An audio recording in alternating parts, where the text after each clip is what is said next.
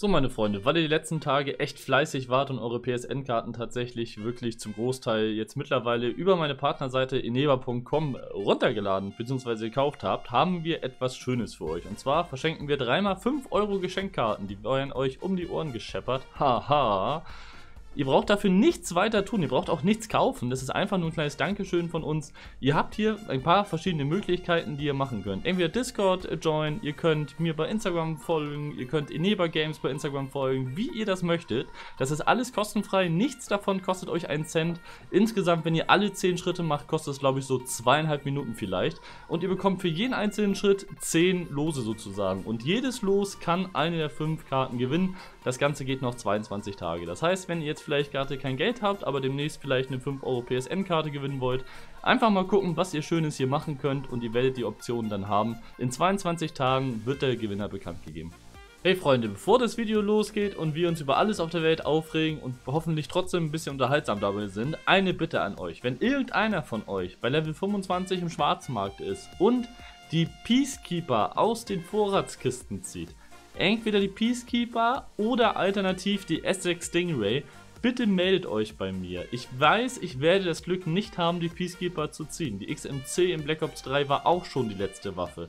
Ich würde zu gerne ein Gameplay mit der Peacekeeper aufnehmen für meinen Kanal. Als Dankeschön dafür werdet ihr natürlich mit allen euren Social Media Seiten, wenn ihr Werbung für euch haben wollt, überall genannt von mir.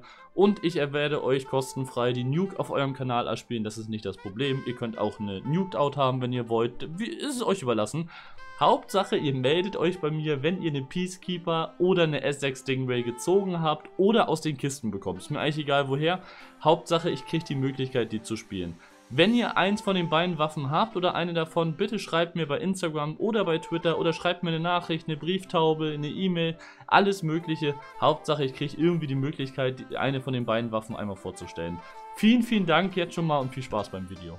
Moin Leute, was geht? Herzlich willkommen auf meinem Kanal zurück. Ich habe mich gestern tatsächlich sehr, sehr über das neue Update gefreut und habe gedacht, wow, Treyarch Activision, endlich macht ihr mal was richtig. Und musste dann leider feststellen, nachdem das Update da ist, die Freude war mal wieder viel zu groß und sie haben es mal wieder verbockt. Heute soll es darum gehen, unter anderem aber auch über andere YouTuber, die, wenn ihr mich fragt, absolut dumm sind. Und das wird nicht eine Abrechnung mit der Landschaft YouTube, sondern einfach mal so ein paar Gedankengänge, die ich jetzt die letzten Tage angehäuft habe. Erstmal gestern, was ich nicht verstehen kann, wir kriegen ein vollgepacktes Update mit sechs neuen Waffen, mit einem neuen Spielmodus, mit neuen Stickern, mit neuen Sachen im Schwarzmarkt, mit, mit einer neuen Map, was cool ist, die ist frei, das ist in Ordnung. Was ich aber absolut nicht nachvollziehen kann, ist die Tatsache, dass wir das alles auf einen Schlag bekommen. Das heißt, so in 7-8 Tagen werden vor allen Dingen die Content Creator, aber genauso auch die ganz normalen Spieler, die jetzt kein YouTube machen, wieder da sitzen und sich fragen, scheiße, was mache ich jetzt? Es gibt wieder nichts Neues. Dazu kommt, und das ist wirklich etwas, was mich tierisch nervt und was ich gestern äh, wirklich spät erst realisiert habe. Ich war der Auffassung, bei Level 25 gibt es eine Waffenkiste, so dass man die Chance hat, eine neue Waffe zu ziehen. Und diese Waffenkisten gibt es dann durch die Community Challenges, so wie mit der Graph aktuell oder der Galil. Musste dann aber feststellen, dass das Ganze natürlich nicht so ist. Warum auch? Warum sollen wir eine Möglichkeit bekommen, die Waffen so zu erspielen? Gibt es nicht. Ihr bekommt bei Level 25 die Waffenkiste. Mit der könnt ihr eine nagelneue DLC-Waffe bekommen, aber ihr könnt, wenn ihr Pech habt, auch eine Waffe, die ihr schon habt, bekommen, nämlich eine MK2-Variante davon. Wenn ihr zum Beispiel die Krawall-Schrotflinte habt und euch denkt, okay, den Scheiß bekomme ich Gott sei Dank nicht, macht euch drauf gefasst, mit der Waffenkiste kann es durchaus sein, dass ihr die Krawall MK2 erhaltet. Wenn ich daran denke, wird mir schlecht. Und ich weiß, dass die Chance bei 6 neuen Waffen 1 zu 6 ist. Ich kann rechnen, 16%, dass ich, und es gibt da nur eine Waffe, die ich haben will, und zwar die Peacekeeper. Ich will keine ich, mich interessiert die Graph nicht, die ist umsonst mit dabei, bei 15 Millionen Matches ist in Ordnung. Die Locus interessiert mich nicht, die Stingray interessiert mich nicht, das Ballistic Knife interessiert mich nicht. Aber ich weiß, ich kriege die Peacekeeper nicht, ich werde zu 100% die Sniper, also die Locus ziehen oder bei meinem Glück eine MK2-Variante von der Krawall oder das Ballistic Knife. Und wenn ihr dann überlegt, wie ihr die anderen 5 Waffen bekommen könnt, ich kann es euch erzählen, es geht nur um die Vorratskisten.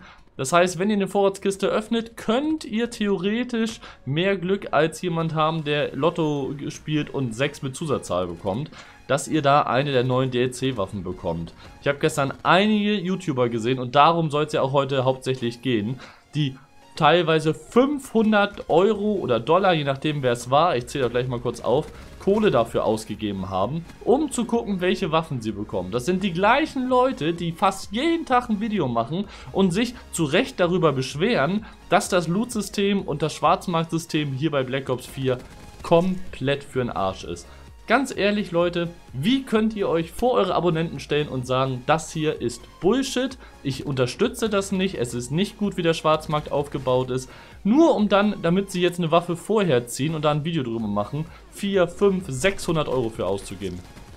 Die Knives Only hat gestern im Stream über 600 Dollar weggehauen, um das Ballistic Knife zu bekommen. Der hat natürlich eine Reichweite, womit sich das dann eventuell halbwegs wieder rentiert. Aber das Einzige, was dabei doch entsteht, ist die Tatsache, dass ihr den Entwicklern immer mehr Grund gebt, an diesem System anzuhalten. Und ich kann es nicht verstehen. Und ich habe das auch bei Haptic schon im Video nicht verstanden, wie der Chord Points ausgegeben hat. Im selben Video, wo er sich darüber beschwert, dass es schlecht aufgestellt ist. Genauso John Rage. Und ich könnte jetzt mit fast jedem YouTuber weitermachen was ihr alle an Kohle für dieses Spiel ausgebt, nur dafür, dass ihr eine der DLC-Waffen früher bekommt, ist für mich unbegreiflich. Und jeder kann am Ende mit seinem Geld machen, was er möchte. Es geht nicht darum, dass ich kritisiere, dass ihr euer Geld für, ich sag mal, so einen Scheiß ausgebt. Aber was ich definitiv kritisiere, ist, dass ihr euren Abonnenten sagt, Leute, das ist alles schlecht, das geht nicht, das geht nicht. Ihr macht Content damit und gebt in derselben Sekunde die Kohle aus für den ganzen Scheiß. Wie kann man Activision bei dem Ganzen denn so unterstützen? Boykottiert das Ganze doch. Natürlich spiele auch ich weiterhin COD. Und natürlich gab es das Video, wo ich gesagt habe, ich bin durch mit dem Thema.